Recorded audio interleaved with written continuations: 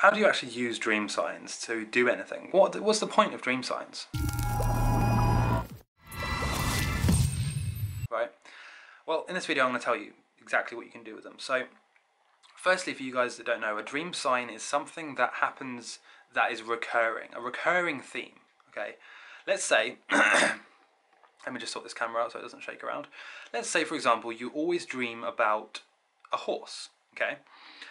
Now, that, that that would then be your dream sign. Okay, if you always have a dream, and at some point during the dream a horse appears, that would be known as your dream sign, the horse. So then what you can do is because you know that, because you're aware of that, you can then tell yourself something that will be a reality check trigger.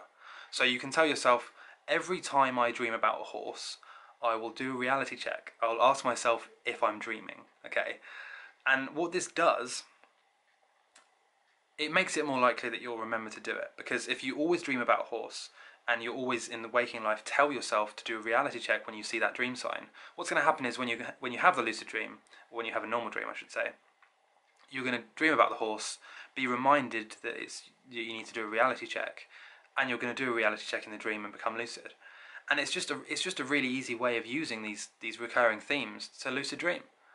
This is why whenever someone emails me saying, you know, I always have this same recurring nightmare and I feel like it's stopping me lucid dreaming, I'm thinking, well, that's that's probably the easiest thing that you can do. That's that's a very easy way of becoming lucid.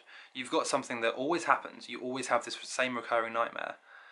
So all you need to do is just change the perspective on it. Just tell yourself every time I have this nightmare, I'll do a reality check. And then in in the waking life, you know, before you go to sleep, just go through it in your head. Just practice saying, every time I have a nightmare about centipedes, for example, I will do a reality check and I'll realise I'm dreaming. And what will happen is you will. You'll be reminded to do it by the nightmare itself. And uh, so going back, going back to dream signs, you will find that several things will happen. Firstly, if you tell yourself to do a reality check, reality check every time you see a dream sign, you will firstly have more lucid dreams. But secondly, your subconscious mind will start bringing things forth that it wants you to be aware of. So usually a dream sign is there for a reason. You know, say if you're always dreaming about a plane, okay, that could be, for example, a sign that your subconscious mind wants you to travel or go and see something new.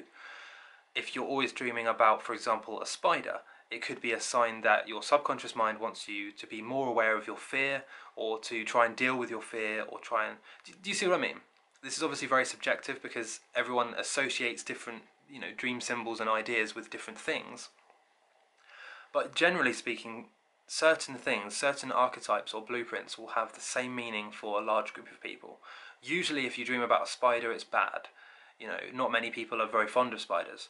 Usually if you dream about being shot it's bad. Not many people are very fond of being shot. Do, do you see what i mean? So there are things there are recurring themes that are common for everyone and these are known as your dream signs, which you can use to analyze your subconscious mind when you wake up. I'm not going to get into dream interpretation here because that's not an area I'm delving into on this channel. I might do in the future, but for now it's not. But all I would say is if you notice something that you always dream about, a recurring theme, build up the belief in your mind that you will do a reality check every time you see that recurring theme. You will ask yourself if you're dreaming and more often than not, you know, you will. You'll ask, you'll do the reality check, you'll become lucid. Happy days. So hopefully you enjoyed this, and see you next time.